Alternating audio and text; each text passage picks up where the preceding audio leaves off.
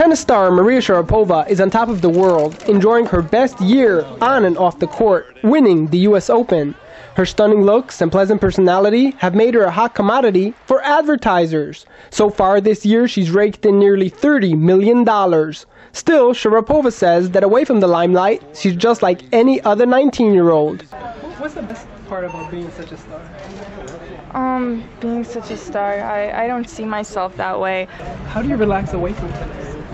Um, spend time at home, spend time with my friends and family, watch movies, design, um, spend time with my dog.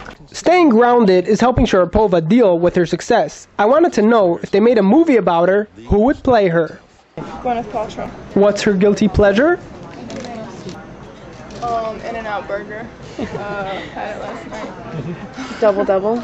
Double double. and strawberry milkshake. When asked what's the last book she read, Maria put a hand in her bag and pulled out.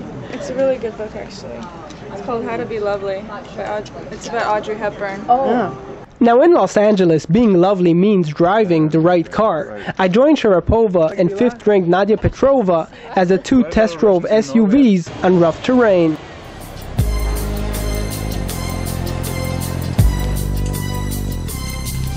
As I walk through the valley of the shadow of death, I take a look at my life and realize there's nothing left. Cause I've been blasting and laughing so long that even my mama thinks that my mind is gone. But I ain't never crossed a man that.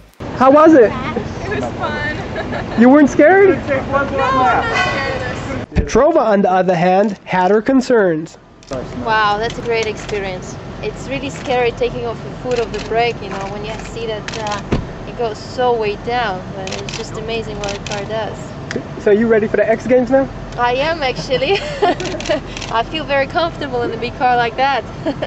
Petrova, who still lives in Russia, says she'd love to have such a vehicle in Moscow.